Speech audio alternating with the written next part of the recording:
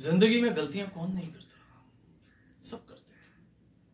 मैंने भी की है बड़ी बड़ी गलतियाँ। लेकिन मेरी सबसे बड़ी गलती थी कि मैंने अपनी पाँच साल की छोटी सी बच्ची को अपने से दूर जाने दिया, अपने से अलग होने दिया। ना जाने कौन सी अकड़, कौन से घमंड में था मैं कि अपनी ही बेटी को नहीं रोक पाया।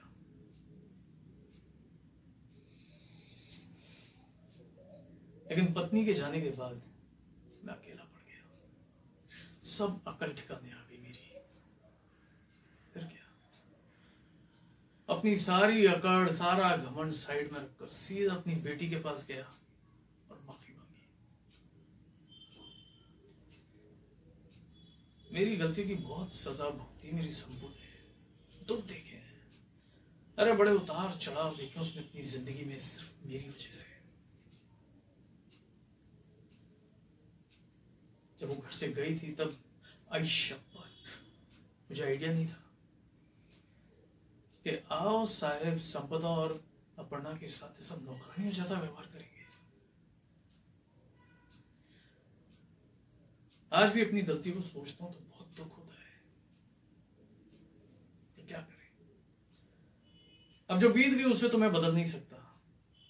लेकिन जो बची हुई ज़िंदगी है, उसे सुधारने की पूरी कोशिश कर रहा हूँ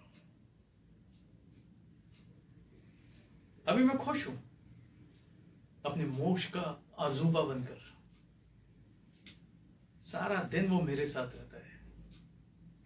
इतने सालों बाद भी अपने अजूबा को भूला नहीं है। बरोबर याद है उसे। अजूबा ये अजूबा वो अजूबा यहाँ चलो ना अजूबा ये सुनो ना। मेरे बिना रह नहीं पाता और मैं भी नहीं रह पाता।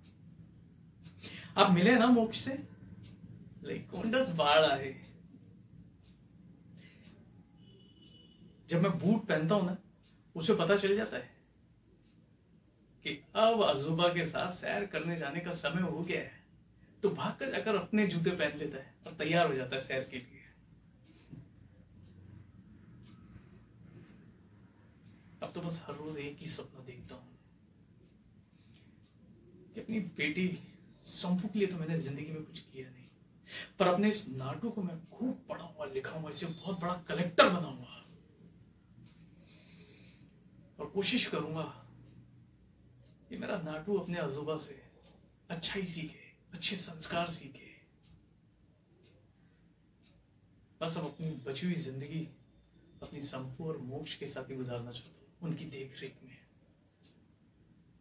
अरे देवा, मैं तो भूल गया। मुझे मोक्ष को डॉक्टर के पास ले जाना है, टीका लगवाने को। वो तैयार होकर राह देखता होगा। नहीं जाऊँगा तो पूरे घर को सर पे उठा लेगा। बुरा मान जाएगा। चलता